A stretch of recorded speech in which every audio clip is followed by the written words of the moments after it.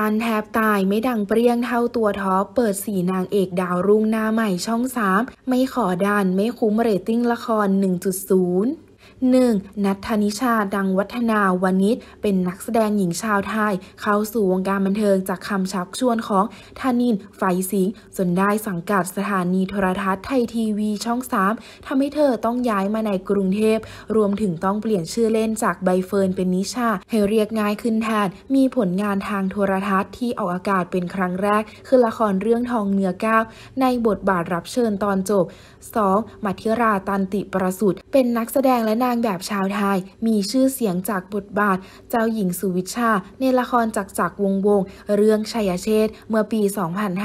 2555 ต่อมาได้เข้าเป็นนักแสดงในสังกัดสถานีโทรทัศน์ไทยทีวีช่อง3จนปัจจุบัน ซึ่งทำให้สยมสั่งวริบุตรตกใจและน้อยใจ เพราะคาดหวังจะให้เธอสังกัดช่องเจ็ดให้เป็นความประสงค์ของแต่ละคน 3. ปนารีวรุณวงศ์เป็นนักแสดงลูกครึ่งไทยอังกฤษและละครเรื่องแรกในบทเจ้าหญิงจัสมิน หรือมาลิจากละครเรื่องดาวหลงฟ้าผู้ผาสีเงิน คู่กับเด่นคุณงามเนตร และรู้จักมากขึ้นจากบทปรากายกัญญา หรือเล็กจากละครเรื่องรักร้าย อดีตนักแสดงสังกัดสถานีโทรทัศน์ไทยทีวีช่อง 3 ปัจจุบันตอนนี้ได้กลายเป็นนักแสดงอิสระเรียบร้อย 4. อิสยาฮอสุวรรณเป็นนักแสดงหญิงชาวไทย สังกัดสถานีโทรทัศน์ไทยทีวีช่อง 3 มีผลงานเด่นจากภาพยนตร์เรื่องฉลาดเกมโกงเขาสู่วงการบันเทิงตั้งแต่ช่วงที่กำลังศึกษาอยู่ชั้นม .5 จากการชักชวนของผู้จัดการที่บังเอิญไปพบเธอที่จังหวัดอุดรธานี